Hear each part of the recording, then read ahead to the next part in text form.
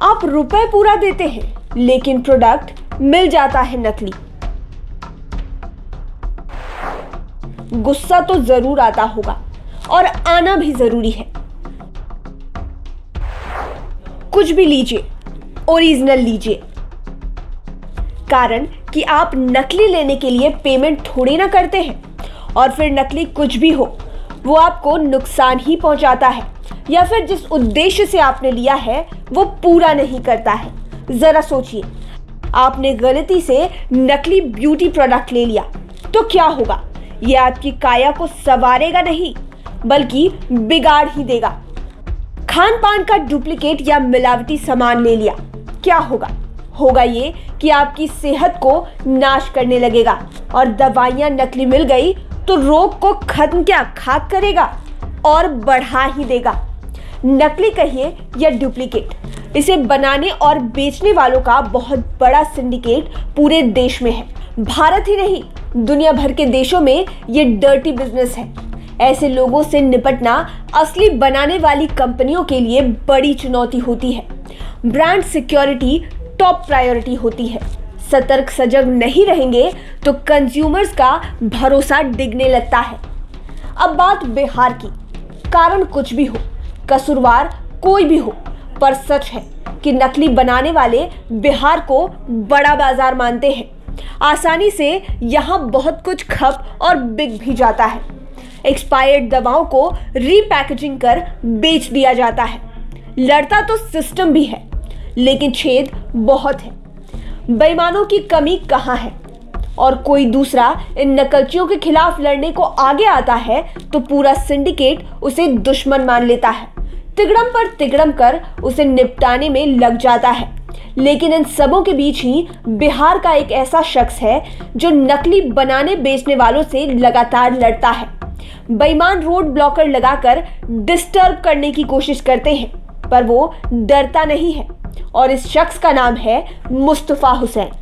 नकलचियों से लड़ने की ताकत मुस्तफ़ा को अपने महरूम पिता सैयद मंजर हुसैन से मिली है, जैसा वे स्वयं बताते हैं। मुस्तफ़ा ने नक्कालों के खिलाफ लड़ने की जब ठानी तो पहले सबों ने कहा, ये क्या करने जा रहे हो?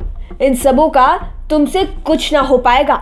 लेकिन मुस्तफ़ा ने नेगेटिव सोचने वालों की कभी फ़िक्र नहीं की। और परिणाम ये निकला कि आज नक्कालों के खिलाफ लड़ने वालों में मुस्तफ़ा की पहचान देश भर में है। मुस्तफ़ा ने brand protection services private limited के नाम से अपनी कंपनी बनाई। जिसकी सेवा आज देश की ही नहीं, दुनिया की कई बड़ी मल्टीनेशनल कंपनियाँ ले रही हैं।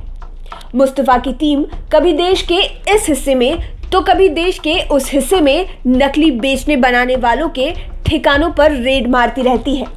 नक्कालों का ठिकाना तलाशना कोई बच्चों का खेल नहीं होता। इसके लिए ब्रांड सर्विसेज़ की टीम को बाज़ार दर बाज़ार की रेकी करनी होती है।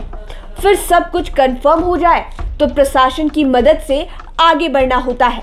मुस्तफ़ा कहते हैं कि लोगों का भरोसा इतना बड़ा है कि ब्रांड सर्विसेज़ के mobile number seven two five seven double eight zero three one eight और double seven six five nine five two eight eight three पर लगातार डुप्लीकेट प्रोडक्ट्स की मैन्युफैक्चरिंग और सेल्स के बारे में इनपुट्स मिलते रहते हैं।